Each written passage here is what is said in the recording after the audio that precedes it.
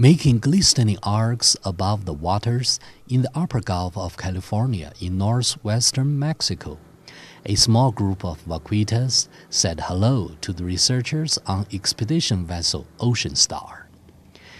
During the recent survey, Mexican oceanographers spotted the images of this rare porpoise on 25 occasions at least.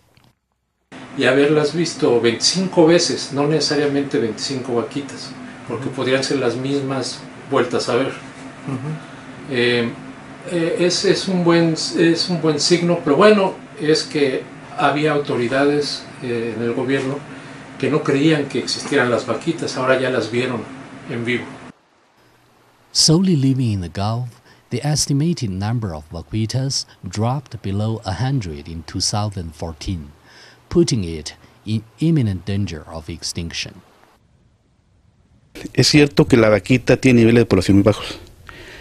Eh, se dice mucho en, la actualidad que la vaquita está en serios problemas por, esa razón eh, y se adjudica mucho el efecto nocivo de la pesca. Hace, no sé, 5 o 10 años se hablaba de que no solo la pesca eh, con redes agalleras inducía mortalidad de vaquita, sino también las rastres. Earlier this year, the Mexican government established a strategy to recover and preserve vaquita and ban any fishing in the core area of its reserves in the Gulf of California.